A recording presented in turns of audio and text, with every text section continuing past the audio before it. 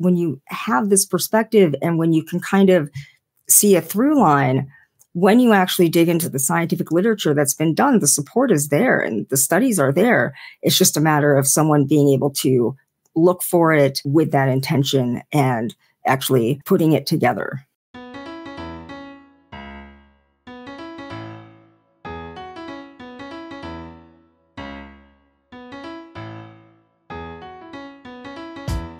Eighty-three percent of Americans identify as not very happy which can hold you back and negatively affect your relationships and your business. On this podcast, we discuss the proven steps to happiness so you can restore balance and rekindle your joy.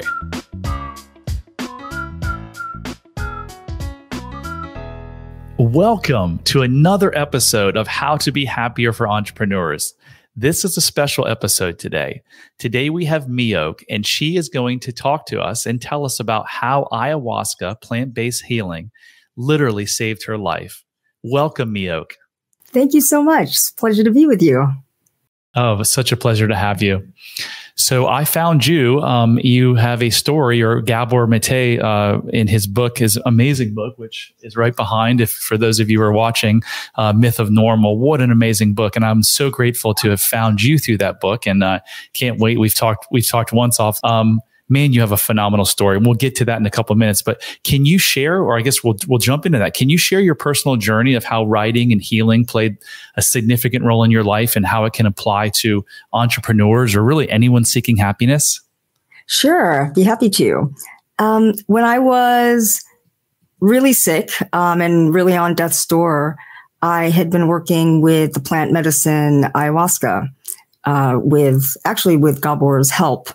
Uh, he was kind of the only person in my life at the time who had ever even heard of it. This was back in 2013 before the, the big psychedelic renaissance. And in those, in those uh, ceremonies, I connected with something very deep inside of me. You can call it the inner child. You can call it my eternal essence or just maybe my essence here uh, in this lifetime. But I had completely forgotten that when I was a child, I had always wanted to be a writer. And I completely lost it. I mean, I, I hadn't re- written in 15 years or so. I sort of petered off in college. And yeah, I just lost that thread. And with this medicine, it just connected me to that. And in that, it connected me to my child's heart in a lot of ways. And it's funny because I actually did start a business with it where I am a writing coach and a book doula. I think for entrepreneurs, there's really nothing better than knowing thyself. It acts as a natural filter with the ex- external world. When you're really authentic, the people who aren't vibing with you, uh, they just organically drop away. And the people who are attracted to you naturally come closer. And you are able to start off really on the right foot and not waste your time with people who maybe would respond to a persona that you had previously put out into the world. I think a lot in business is coming across with authenticity. The number one thing in business is trust. You people have to feel like you have integrity. They can trust you. You're going to stick around and doing this work and being a lot of people I think aren't even authentic to themselves. They don't even know we live unconscious lives as Gabor Mate talks quite a lot about. And so one of the most difficult things about being an artist in general is finding your voice. And in writing, that's literally your, your voice on the page. And a lot of people have a lot of difficulty finding that. It took me four years to really find, because we have so many selves. You're, you talk to your mother differently than you talk to the school principal or your kid or uh, your partner.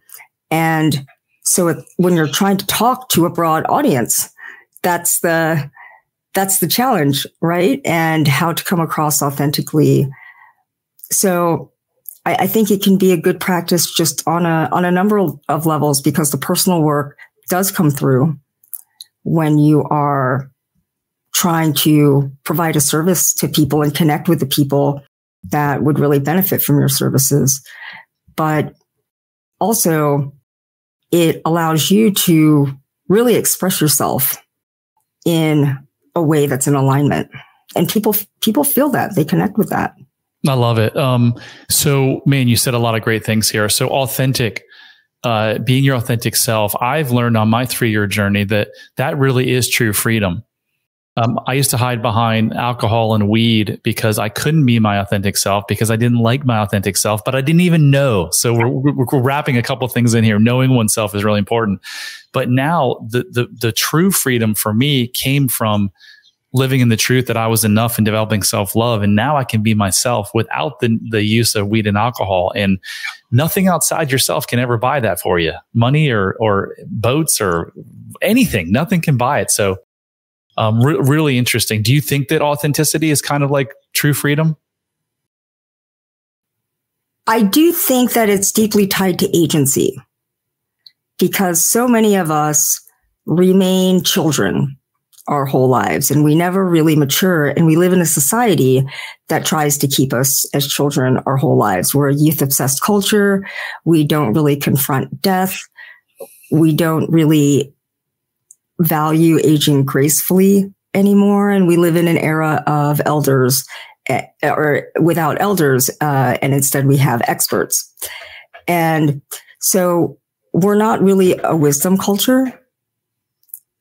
Um, and yeah, I think that in general, um, with with writing and with knowing yourself, you get that opportunity to mature because it's such a powerful medicine. I'm reminded of the philosopher, the French philosopher Blaise Pascal, and he said that all of man's cuff, all of man's suffering comes from not being able to sit alone in the room. Mm. And that's what writing is.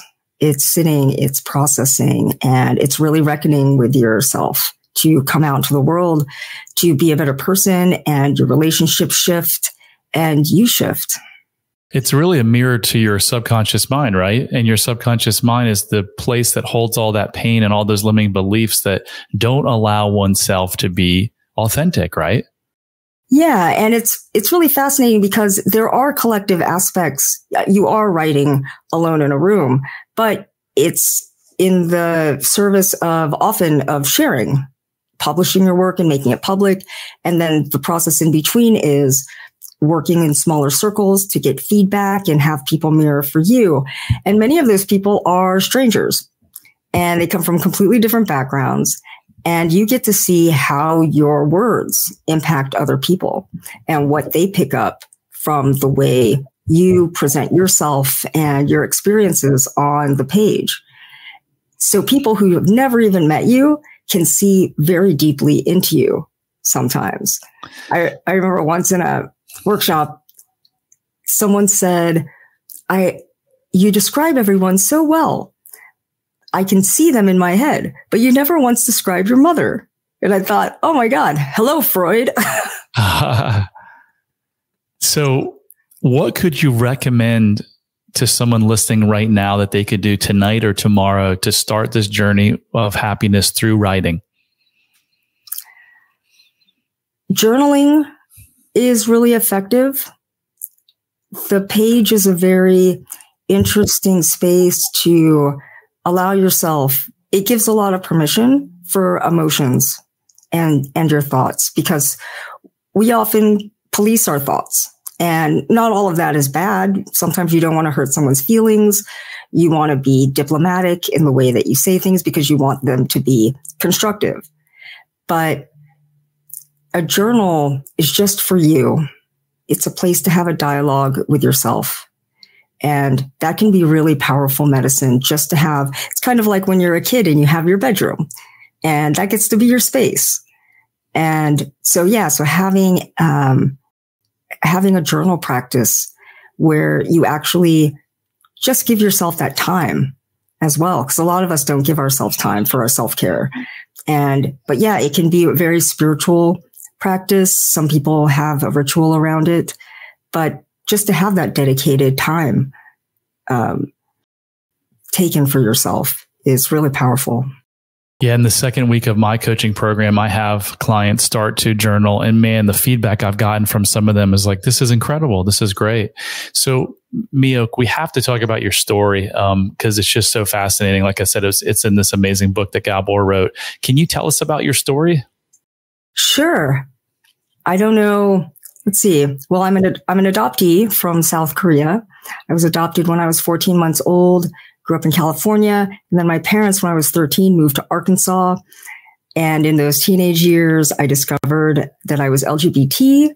So I came out of the closet there in the mid 90s, which was maybe not the best decision. I had grown up very evangelical. And so that kind of started me in a way on my journey. And I had come across a book that had really inspired me called The Secret History by Donna Tartt. And it inspired me to try to go to college in New England and seek the sacred in some way. These people had a magical experience. It's it's also a, a novel, so it's fiction and it's uh, a psychological thriller. So I didn't want all elements of the experience, but I loved this idea of their connection and finding tribe because I, I hadn't found that in in that way while where I was living and in my immediate, you know, circle of my of my parents in school. And I discovered at some point my before my senior year that I had been sexually abused by my adoptive father. And that really shot me out of a cannon. I ended up becoming a uh, emancipated minor and I ended up getting myself into Boston University with a scholarship. And I lived in Boston and tried to make it there and uh, made plenty of mistakes there as well. And then I got really sick and I was on death's door and I tried everything. I was working at Harvard for a, a famous doctor there and social scientist. And I learned a great deal while I was there, but then one morning I woke up and I couldn't get out of bed. I was in so much pain.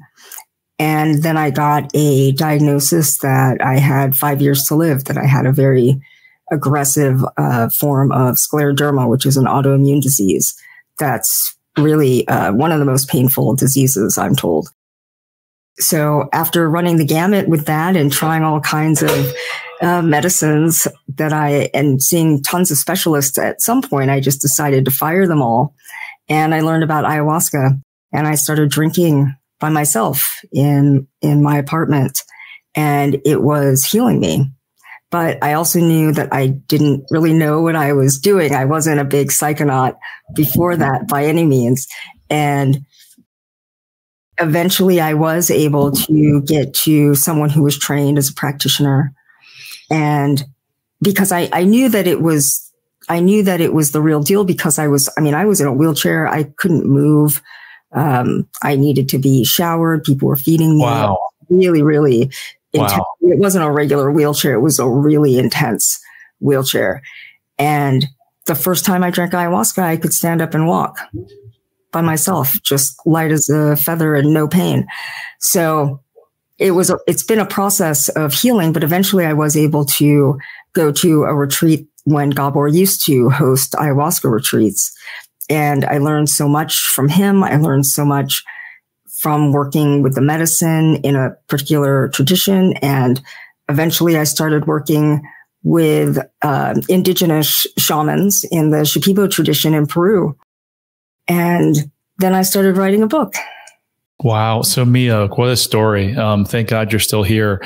So let's go back to when did you discover that you were um, abused by your father? I was 17 and it was the summer before my senior year. And when, what, what ages were you that the abuse actually happened?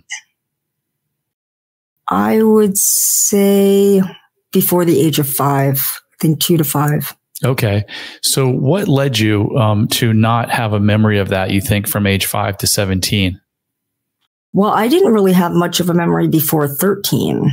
Mm. And I found with this work that it does seem that the brain tries to protect us.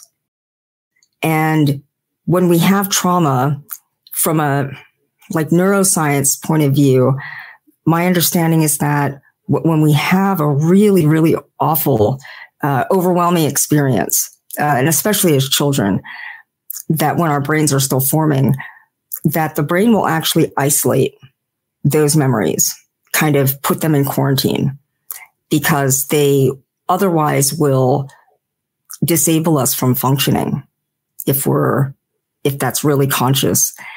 And, and also we, we tend to block out things that are immediately dangerous to us. And so the closer the abuser is, often it's the harder it is to, to get to or the more mo- more beloved the figure is, if it's some spiritual guru or something like that, or a beloved director or someone that you need. And so I think when I've seen other people, when I've spoken with other people who come out of really awful situations like coming out of Iran during the revolution or, you know, something, something at that level that they often can't remember anything because it's sort of like the brain just does this cost benefit analysis and says, okay, the good mem- memories don't outweigh the bad. So we can go and scrap everything and just put it over here and just move on from this point. Right. So, uh, yeah, I find that with my clients. Um, I use hypnosis as my tool. I am a fan of plant based medicine and I probably will add it to my toolkit once it's legal. Uh, but right now, I use hypnosis and it's super, super, super powerful. And I've had lots of clients that didn't have any memory either until um, we went into this hypnotic state and they were able to access her subconscious mind. So that's really, really, really powerful stuff. So let's fast forward to the illness and the sickness that you endured that almost took your life. What What do you think was the cause of that? A number of things. I do agree and have. I'm living proof that in a big way, it's how Gabor Mate describes it that there is trauma. And when you have trauma, when you're suppressing emotions, you're also suppressing the immune system. And eventually the immune system will, um, it can't, it w- won't be able to function the, in a healthy way anymore. And aside from that, there are also the things that you do in response to trauma. So I think in a, I think it's so apt that he writes a great deal about autoimmune disease and addiction because they're sort of two sides of the same coin to some degree. You, you use addiction to manage the symptoms of the pain and then those will tax your body and tax the immune system even further. So yeah, I think some people's experience and, and also a lack of guidance on how to manage experiences when you don't have that support, when you, when you're feeling like you're alone. Uh, feeling alone and being isolated is one of the worst things for your health. So I was the person that if I'd heard this podcast five years ago, I would have been like, come on, you're your childhood trauma being sexually abused by your dad is going to lead you to almost die as an adult? Like come on that that's fairy tale stuff. Because i didn't know. I was ignorant. I was not educated. And i've spent the last 3 years and i've read a lot of gabor stuff. I've spent thousands of hours on this on this topic and wow it's it's it's eye opening and if if the general public could only understand this more that yes, your childhood, your unresolved childhood programming and trauma is a cause of your illness. For most people, we have 34%, 33% of Americans on an antidepressant or anti anxiety drug, and we have 70% of Americans on a prescription drug. Why is that? It's because of all this unresolved childhood trauma and processing that, that has not been processed. Western medicine, as you know, likes to diagnose, label, and then give give a medication. So, wow, just just fabulous. And and I hope that um, someone's mind is changed because um, there's a lot of suffering people out there that have all kinds of autoimmune diseases from Parkinson's to, you know, MS to not even cancer that not that cancer is autoimmune, but, um, or maybe it is, but it, it, it all ties back. And sometimes I quote Gabor and I say that and I say every child, every, every problem you have is from an unmet childhood need. And man, do I get blasted on the cancer thing. Like you're telling me that, you know, I have cancer. And I'm like, well, first of all, I'm not telling you that Gabor is, but I, I believe him. He's a really smart guy. And he's, he's for 40 years, he's seen these patients. He's been there. He's done the research from both the mental side and the physical side. So it's just fascinating to me. He also has that medical background um, so that he can actually delve into the scientific literature. And he's not the only one. There are plenty. Um, there's a, a man, Rediger, who wrote, oh man, what is it called? It's, it's like The Cure, I think. And he, he looks at people who have had miraculous recoveries. Uh, you know, in, in medical terms, they call them spontaneous remissions. And because of this taboo around anyone stepping outside of that paradigm, no one's ever studied it. And so he decided to. And so when you have these, I, when you have this perspective and when you can kind of see a through line, when you actually dig into the literature, the scientific literature that's been done, the support is there and the studies are there. It's just a matter of someone being able to look for it with that intention and actually putting it together. So you were in some of the most advanced and sophisticated medical centers in the world. Yeah. Did any doctor ever ask you what was your stress level like as a child? What what what did you go through anything? Not as a child, but my primary care physician is a pretty remarkable woman. She is also an acupuncturist and an energy worker, as well as a Western trained physician, which is pretty unique. And when I first got sick, she asked me about my diet. She did ask me what was going on in my life at the present to see, and anytime I really went to her, if I was having trouble sleeping or something like that, because she didn't want to just say, Oh, you're having trouble sleeping. Well, there's a pill for that. she wanted to see if it was short term. Are you stressed? Oh, you have, this is finals week. Okay. So you're not sleeping a lot. You've got a lot on your mind.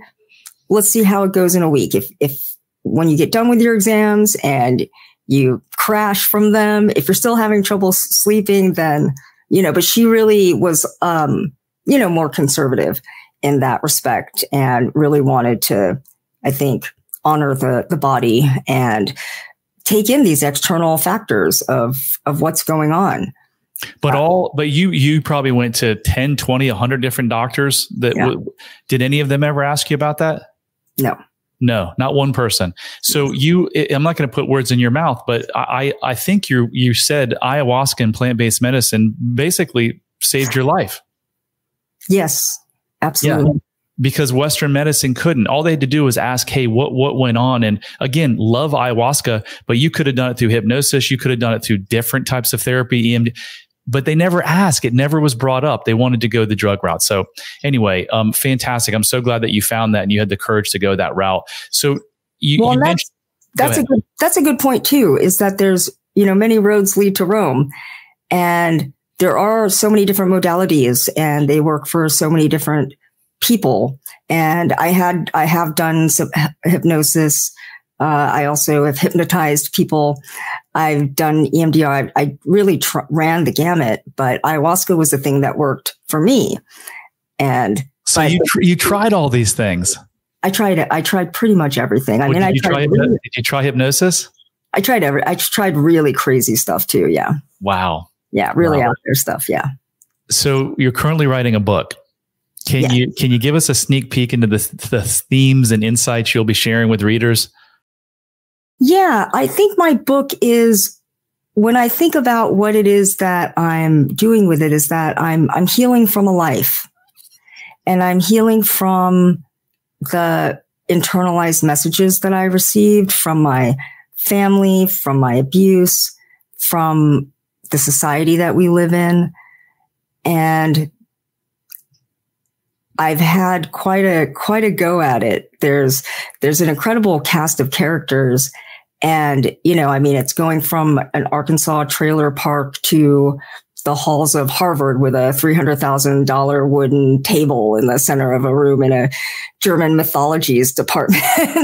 wow. So it really spans, it spans a great deal of our culture, um, from, you know, world renowned emailing with, uh, you know, Nobel Prize winners to hanging out with, uh, drag queens with HIV. And, and I think for the most part, it's a lot of it is about s- certain people who come in with the things that the structure of our society require us to have, um, or that give us a little bit ahead, like having a family, um, being a certain skin color or a certain, um, having certain abilities, um, that, that don't push us in the margins, like having a, a mental illness or something like that, uh, having a physical disability. And so I think that it, it kind of, it speaks to my experience of why do I have to figure out why I get to be here when other people seem to never ask themselves that question? Why do I have to create my own space? uh, just to exist. And why do people uh, deny my existence? Usually it's because it threatens their own it, or their own sense of who they are, things like that. And so in a way, it's, it's, it's really, I hope an adventure and an inquiry that is, that taps into universals because ultimately the story that I'm telling is the story of the outsider and that's something I think everybody feels, no matter how much they look like they belong to a group. That's the authenticity piece that we were talking about. And learning to, you know, the more, the more different you have, the more dimensions that don't fit into the structure, the more you suppress in order to survive, especially as a child. And so it's really, it's the story of, it's of amazing synchronicities and bizarre circumstances and learning and growing that I had to do to come from what you were talking about.